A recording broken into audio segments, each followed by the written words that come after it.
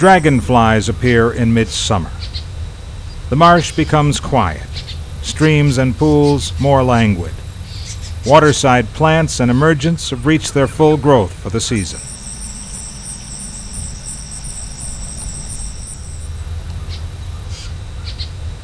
The natives who gave this marsh the name Tayohiro, River of Rushes, long before Europeans came to the New World, would recognize many of today's wetland plants, but others would be totally unfamiliar. Over the past four centuries, plants brought to North America from other continents, sometimes intentionally, sometimes not, have established themselves as part of the North American landscape. One in particular, purple loosestrife, now dominates many wetlands here in upstate New York, often choking out native plants.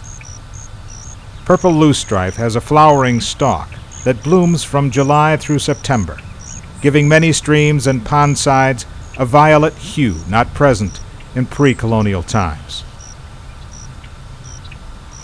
As it crowds out native vegetation, purple loosestrife impacts bird and animal habitats. Invasive plants often have no natural enemies to hold them in check the way most native species do. This allows them to expand their range unchallenged. Many birds feed on marsh plant seeds, but none feed on purple loosestrife. In an attempt to slow its progress, scientists have begun to import beetles that feed exclusively on purple loosestrife in its native Europe. There, it is just another wetland plant that does not dominate every marsh and wet meadow. Mowing only hastens its growth, as each cutting can root and quickly establish itself as a new plant. Treating it with herbicide is not an option, because purple loosestrife invariably roots near water, and using herbicide would result in stream pollution. There are upsides. Purple loosestrife is one of a very few flowering plants that blooms continually during the hottest time of the year, when other flowers have wilted from heat and late summer drought.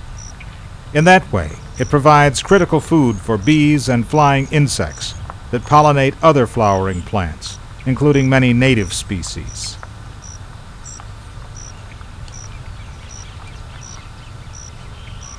Some scientists contend that over time, this plant will become subject to parasites and diseases that eventually attack invasive species and bring them under control. Despite the fact many states have labeled it a noxious invader, purple loosestrife is still sold in nurseries and garden centers as an ornamental garden plant.